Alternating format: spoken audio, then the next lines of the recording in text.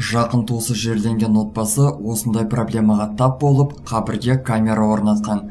Түндердің бірінде ол қабірлерді аралап жүрген кішкентай қыздың жүргенін байқайды. Нью-мексико тұрғыны саундра гонсалес фейсбук желісінде өзінің жүрек жарды оқиғасымен бөліседі.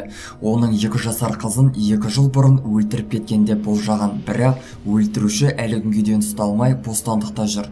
Жақында ел қызының қабірінен ойыншықтардың ұрланғанын байқап күзетшілерден барынша мұқият болуды сұрайды. Жақын туысы жерленген отбасыда осындай проблемаға тап болып камера орнатқан. Түндердің бірінде ол қабірлерді аралап жүрген кішкентай қыздың жүргенін байқайды. Басында адамдар жоғалып кетті деп шешеді. Бірақ олар күзетшілерге жүгінгенде олар саундраның қызын таныды және қатты қорқып кетеді. Содан кейін фотосуретті қайғыға оранған анасына көрсеткенде әйел ол қыздың өз қызына қатты ұқсайтынын растайды. Мен бұл жазбаларды көргеннен кейін қатты жыладым. Өйткені бұл менің қызым екенін нақты білемін. Жүрегімде ешқандай да күмән жоқ. Өйткені ол басынан аяғына дейін шашынан бастап киімі мен тәпішкесіне дейін қатты ұқсайды дейді саундра гонсалес саундра қызын жігітіне қалдырып кеткенде қыз күдікті жағдайда қайтыс болды деп жазды Десан агенттігі.